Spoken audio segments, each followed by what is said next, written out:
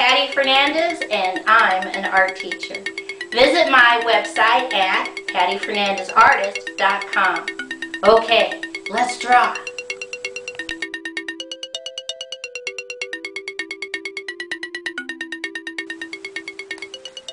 Today's project is how to draw a buffalo. I'm going to take two fingers from the top in the center and put a dot. And from that dot, I'm going to draw a curved line down on the left, go back to the dot, curved line down on the right. I come back to the left and I draw a wavy, wavy, wavy, wavy, wavy line down.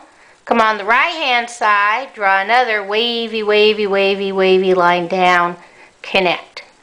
Come back to the left, I'm going to draw a straight line down, curve line over, come on the right, draw a straight line down, curve line over, connect.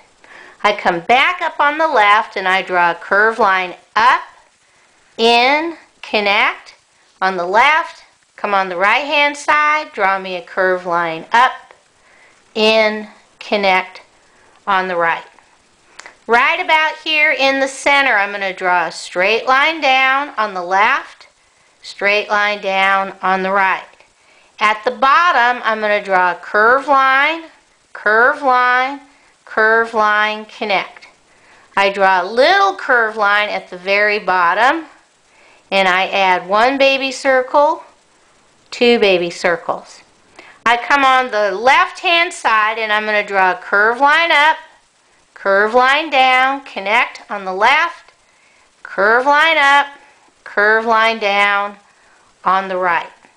I come back on the left and I'm going to draw a wavy, wavy, wavy, wavy line. Keep going all the way down.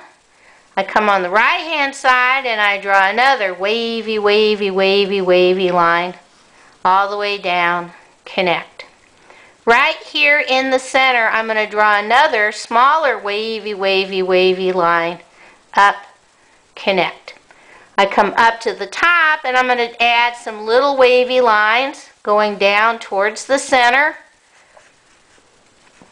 intermittently and I'm going to take one more line there. Okay, let's see how we're going to color this. The first thing I'm going to do is take my black crayon and color in my eyes and color in my nostrils and then I'm going to use a variety of browns from my multicultural crayons and color my buffalo with a range of browns. So I start off with tan for the center.